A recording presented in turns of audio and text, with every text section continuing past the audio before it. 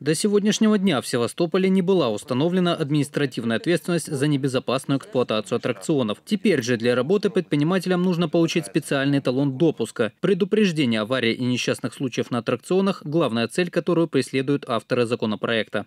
Данная норма будет рассматриваться в виде административного штрафа на должностных лиц и индивидуальных предпринимателей в размере 10 тысяч рублей, на юридических лиц в размере 20 тысяч рублей. Частью второй э, устанавливается административное э, наказание за эксплуатацию аттракционов после установления запрета на его эксплуатацию в виде административного штрафа на должностных лиц индивидуальных предпринимателей 10 э, тысяч рублей, на юридических лиц 20 тысяч рублей.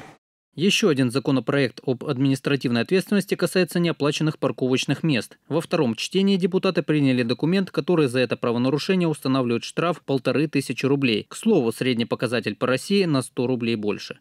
Введение участков платных парковок будет осуществляться только после создания бесплатных перехватывающих парковок с количеством парковочных мест не менее количества парковочных мест на создаваемых участках платной парковки. Для севастопольцев, проживающих в установленных границах парковочных зон, будут предоставлены резидентные разрешения, дающие право на бесплатное размещение транспортного средства на парковочном месте. По словам Ильи Пономарева, в этом году платные и перехватывающие парковки появятся только в Балаклаве в качестве эксперимента. После того, как вот будет отработан механизм, во-первых, осуществления э, платы за парковку, во-вторых, механизм учета тех, кто не оплатил парковку и, соответственно, может быть подвергнут административному наказанию, уже после этого этот опыт будет распространен и на другую часть субъекта Российской Федерации, город федерального значения Севастополь.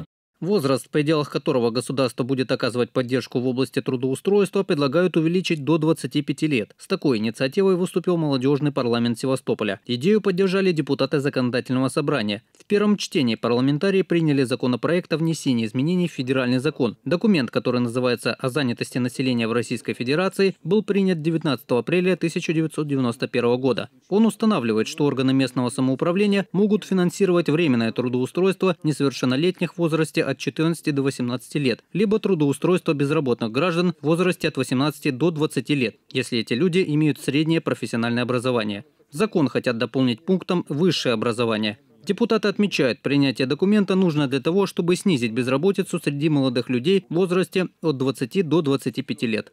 Например, такая категория населения, как э, молодые люди, которые были призваны на военную службу, вернулись после того, как они отдали долг отчизне, да, и далее поступили в э, профессиональные учебные заведения среднего или высшего образования.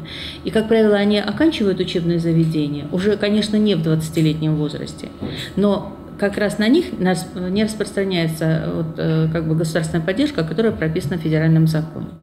3 миллиона 618 тысяч рублей. Именно такая сумма зарезервирована в городском бюджете для возврата денег людям, счета которых были заблокированы Нацбанком Украины. Соответствующий законопроект депутаты приняли в первом чтении. Возвращать средства планируют физлицам, счета которых открыты в органах Государственной казначейской службы Украины, если деньги туда поступили до 18 марта 2014 года. Расчет потребности на финансирование расходов был произведен на основании данных предоставленных Федеральной службой судебных приставов Российской Федерации.